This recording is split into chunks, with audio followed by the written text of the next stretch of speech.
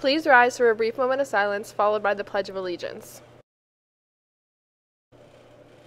I pledge allegiance to the flag of the United States of America and to the republic for which it stands, one nation, under God, indivisible, with liberty and justice for all.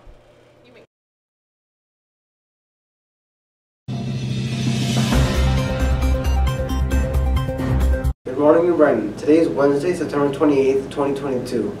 Any students interested in joining mock trial, there will be an informational meeting this Thursday, uh, September 29th, after school in the courtroom on the second floor. Please see Ms. Bogovich with any questions.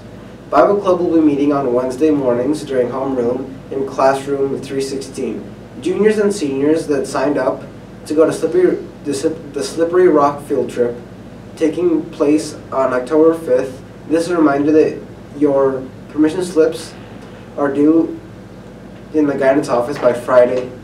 Juniors will count juniors this will count as a college visit for your career portfolio. Absolutely no permission forms will be accepted after Friday, September 30th. Students that are driving to school, this is a reminder that you must have a New Brighton High School parking pass. If you are in need of one, you can stop in the guidance office. If you're a VOTEC student that drives to school, you will need a New Brighton High School parking pass and a VOTEC driver form. Both are available in the guidance office. Jostens will be here October 19th during homeroom to meet with sophomores regarding classrooms. Jostens will be here October 20th during homeroom to meet with seniors regarding caps and gowns.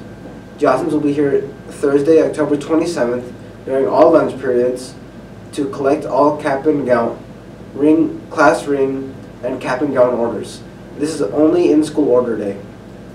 Check or money orders must be, get, must be made to Jostens.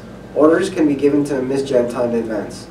The SAT is taking place here at New Brighton High School on Saturday, October 1st. The deadline to register is Friday, September 2nd. Late registration is September 20th and will, and will include an additional $30 fee. If you qualify, fee waivers can be obtained by your school counselor. Any student taking the SAT in October, please be aware that a valid photo ID is required.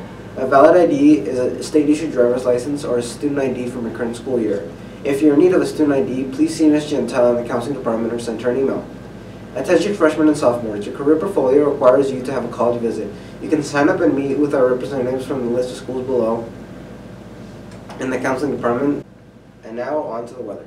Today is cloudy with a 10% chance of precipitation with a high of 61 and a low of 46. Now, back to the news. Happy birthday to Savannah Heron. Today's lunch is a buffalo chicken dipper, turkey salad, crispy chicken sandwich, Italian panini, or pizza, and the menu is subject to change. Have a great day, New Brighton.